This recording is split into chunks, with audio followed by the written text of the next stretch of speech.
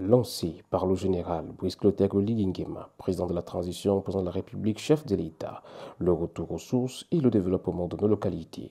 Un appel qui trouve tout son sens ici à la Lara. Il faut dire que la construction de ce bâtiment en fait est partie de, deux choses.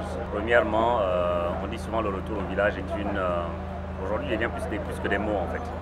Et pour paraphraser ces mots, en fait, nous avons décidé de venir investir dans le village, ce qui permet normalement de développer la contrée. Parce qu'il faut dire que la Lara est un carrefour assez important. Mais un carrefour important, mais qui manque quasiment de tout. Pas qui manquait, mais qui manque de tout. Donc en mettant en, fait, en place ce, bâtiment, nous avons invité également un certain nombre d'opérateurs, donc parmi ceux, ceux-là qui font dans la, vente des médicaments, donc des pharmaceutiques, nous avons également euh, invité les tenanciers de quincaillerie parce qu'il faut dire que la Lara est une zone qui se développe. Les populations de cette partie du pays voient en cette initiative la fin d'un calvaire qui n'a que trop duré.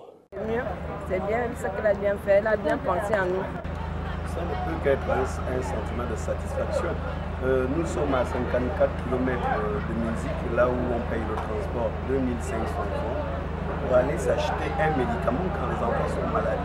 Pour aller pour euh, avoir le matériel de construction, il faut, il faut aller à midi, il faut le transporter à midi. Donc si je peux avoir tout ça sur place, ça peut être un sentiment de satisfaction. La Lara, une zone à fort impact économique forestière, devrait sans doute interpeller les autorités de la transition à y jeter un regard particulier.